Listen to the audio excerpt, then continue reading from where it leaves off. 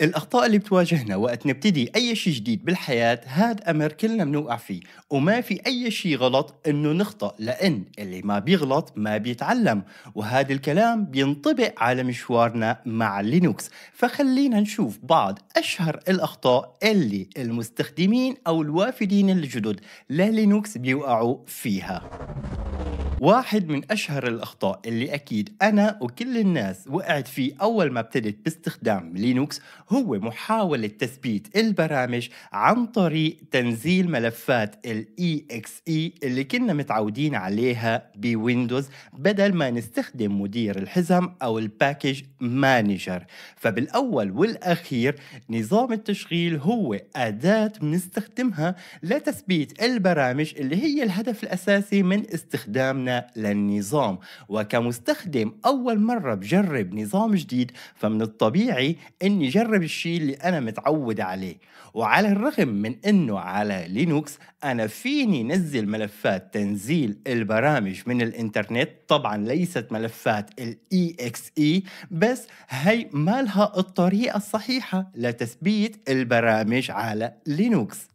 الخطأ الثاني المرتبط نوعا ما بالخطأ الأول هو الخوف من عدم توافر البرامج. فصحيح أنه لحد الآن في عندي بعض البرامج الخاصة اللي ما لها متوافرة على لينوكس واللي ممكن أنا أحتاجها للقيام ببعض الوظائف وما بتوقع أنه توافر هي البرامج على لينوكس رح نشوفه لا بالمستقبل القريب ولا المستقبل اللي بعيد لأنه الشركات المطورة لهي البرامج بالأساس ما بدها تدعم لينوكس. بس خلينا نكون واقعيين فأغلبنا نستخدم الكمبيوتر كاستخدام منزلي إما للدراسة أو لاستهلاك المحتوى أو للألعاب.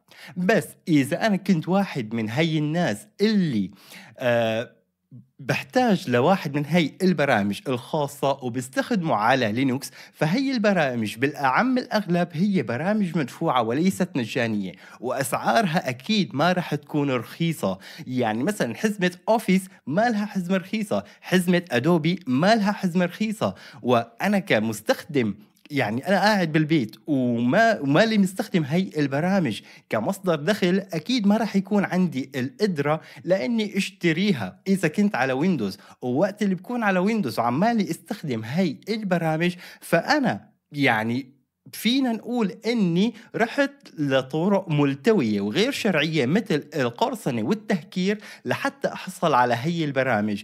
وبنفس السياق في عنا خطأ هو ليس خطأ بحد ذاته وإنما معتقد خاطئ ألا وهو أنه كل شيء على لينوكس مجاني. فرغم أنه هاد الكلام بالأعم الأغلب صحيح بس على لينوكس في عندي برامج مدفوعة وفي عندي عدد لا بأس فيه من البرامج اللي هي بطبيعتها برامج مجانية ومفتوحة المصدر بالاستخدام البيزك بالاستخدام بالميزات الأساسية. بس هي البرامج بتقدم لي مجموعة إضافية من الميزات لحتى أحصل على هي الميزات فأنا إما لازم أني أشتري مفتاح تفعيل أو رخصة لحتى أستخدمها. وهلا لو بعدنا شوي عن البرامج وحكينا عن التوزيعات فوجود عدد خنفشاري من التوزيعات على لينوكس بيتسبب إنه المستخدم الجديد للينوكس ممكن إنه يختار التوزيعة الغلط غير المناسبة له فمع إنه كافة التوزيعات بالنهاية هي لينوكس بس كل توزيعة رح تستخدم المظهر الخارجي الخاص فيها. كل توزيعة بتجي مع برامج مثبتة مسبقا بتكون مختلفة عن توزيعات تانية. بعض التوزيعات ما بتجي مع أي برامج ما عدا اللي بتخلي النظام يشتغل. يشتغل فهلأ شهرة التوزيعة هذا الكلام مو بالضرورة يعني إنه هي التوزيعة هي المناسبة إلك. فهلأ يعني Arch لينوكس أكيد ما راح تكون مناسبة لواحد بحياته ما لمس لينوكس ابدا. خطأ تاني الكل منوقع فيه هو إنه نتوقع إنه كل شيء يشتغل على لينوكس بنفس الطريقة اللي كان يشتغل فيها على ويندوز.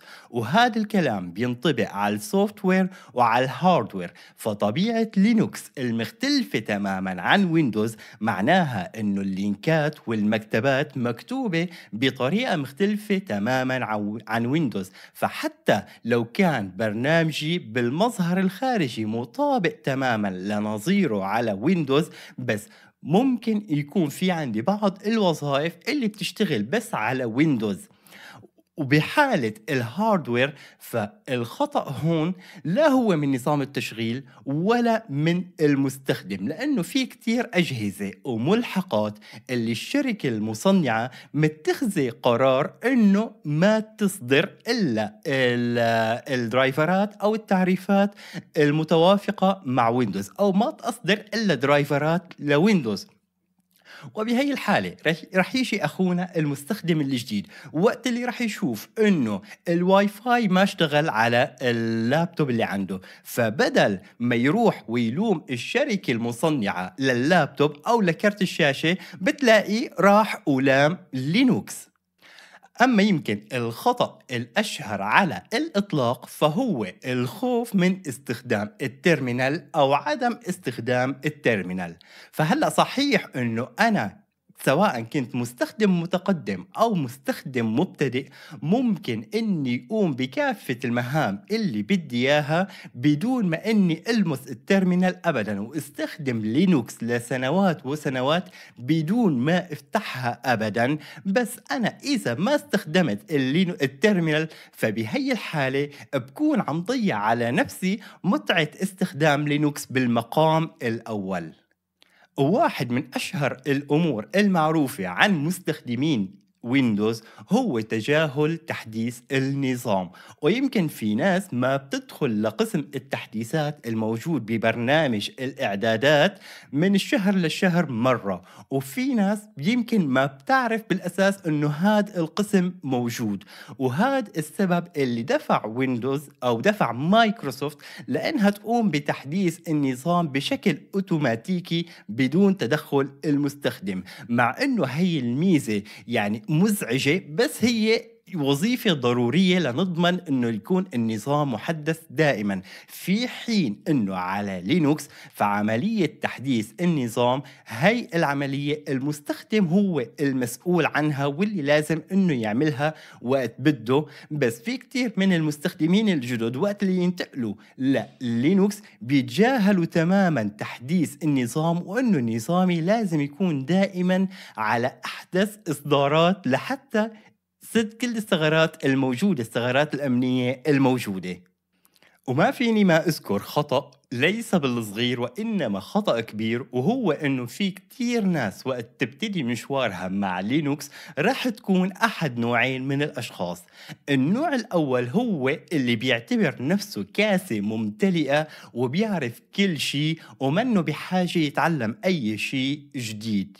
في حين إنه النوع الثاني اللي هو بيعتبر نفسه كاسة فارغة وبتلاقيه بده يتعلم كل شيء بعالم لينوكس خلال خمس ثواني أو بعد ما يشوف فيديو واحد على يوتيوب. هدول النوعين من الناس غلط لأنه النوع الأول هو النوع المتكبر والمتعجرف وما في أي إنسان بيعرف أي شيء بالكون. في حين أنه النوع الثاني بتلاقيه عماله يجمع معلومة من هون ومعلومة من هون وأمر من المكان الفلاني وبرنامج فلاني لغاية ما الكاس اللي عنده تمتلي وراح تكون ممتلية بمعلومات مبعثرة ومالها مرتبة وبهيك حالة بيكون عماله يروح على نفسه فرصة إنه يتعلم أمر واحد بشكل صح ويتقن هذا الأمر أو الوظيفة قبل ما ينتقل للتوتوريال اللي بعده. وأما الناس اللي لا هي من الفئة الأولى ولا من الفئة الثانية فممكن إنها تكون من فئة الناس اللي حابة إنها تتعلم بس ما عندها استعداد إنها تستخدم مصادر التعلم الموجودة على الإنترنت أو ما بتحاول إنها تفتح المنتديات أو تندمج مع مجتمع البرمجيات الحرة. وحتى وقت اللي يروح لواحد من هي المواقع أو المنتديات لحتى يطرح مشكلته أو يطرح السؤال اللي عنده فبتلاقيه بيطرح السؤال بطريقة غلط بحيث إنه ما بيقدم أي معلومات يعني ممكن إنها تساعد الأشخاص اللي موجودين بهي المنتديات إنه يساعدوه بحل المشكلة. فبتلاقيه حاطط بس الترويسة عن المشكلة بس واجهتني مشكله فلانيه بدون ما يعطي أي معلومات. فبهي الحالة إما إنك ما رح تحصل على حل لمشكلتك أو ممكن إنك تحصل ببعض الأحيان وللأسف على أجوبة يعني ممكن إنه تكون هي الردود وقحة. فنصيحة للمستخدم سواء المبتدئ أو المتقدم أو الجديد أو أي شيء بغض النظر عن نظام التشغيل اللي عمالك تستخدمه. وقت بدك تطرح سؤال عن مشكلة معينة حاول إنك تعطي أكبر قدر ممكن من المعلومات وتفصل المشكلة يعني لأدق التفاصيل لحتى تضمن إنك تحصل على الحل والجواب لمشكلتك.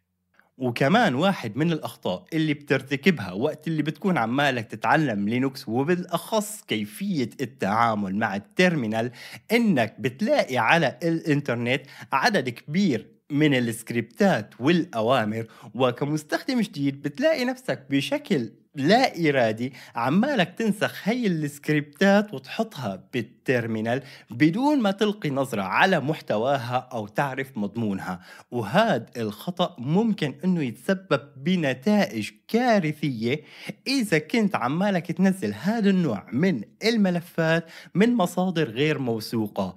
وبأضعف الحالات فالأمر اللي نسخته ما رح يشتغل معك. إذا كنت على سبيل المثال عمالك تنسخ أمر لتثبيت برنامج آه على فيدورا ورحت استخدمت أمر APT الخاص بأوبونتو.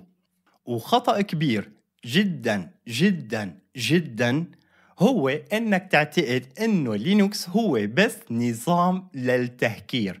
أو تفكر إنك إذا نزلت كالي لينوكس رح تصير هاكر محترف.